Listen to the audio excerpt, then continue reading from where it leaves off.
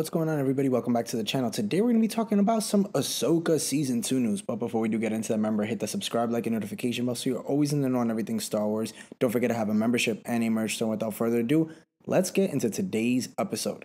Now, recently speaking to comicbook.com, Dawson was asked if she's read the scripts for season two of the Ahsoka series yet, and to which she says no. She still, however, hypes up the prospect of this upcoming story, inciting that it's a big deal for her. Now, Dawson shares her love for the cast and her hopes for what she and everybody else might get to see in the next installment of the Ahsoka series. Now, one thing that she's especially hopeful for is about an array of new costumes, but above all, she wants to know what's going on. Now, while the scripts for Ahsoka Season 2 may not be ready just yet, there's still every reason to be excited for it as Dawson is excited for the next chapter of this story. Now, the Ahsoka crew has proven to be both a dedicated and close-knit one, with the stars often being spotted together or sharing many great memories on social media at cons and other events. Now, this closeness amongst the cast, as well as their shared excitement for what's to come, already promises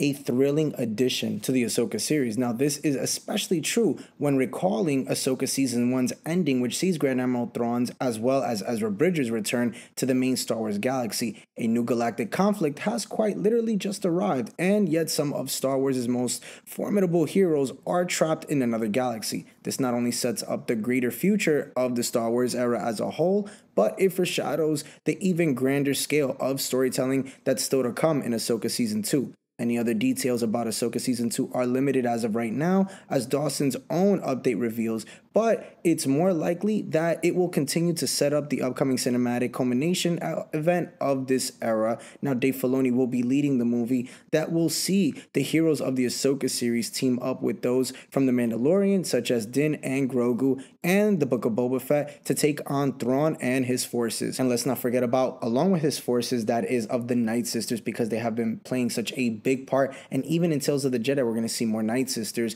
along with Morgan Elsbeth. So there is a lot lot in store for this series, but hopefully we do get some sort of an update from Star Wars, not just from the cast, and they give us some sort of an update like when the show will come out or what their topic is going to be going for, since we do know that Ray Stevenson, who does play Baylan Skoll, looks like it was going to be a big part in season two. So I'm sure they're trying to figure out what the next steps are in that, which I'm sure they figured out, but we'll see what happens when we do get an update for Ahsoka season two. Thank you so much for tuning into today's video, guys. Make sure to comment down below. Let me know what you're most excited for Ahsoka season two, and if you're even excited for a second season. Don't forget as well, I have a membership and a merch store. Make sure to hit that subscribe, like, and notification bell, and I'll catch you guys in tomorrow's video.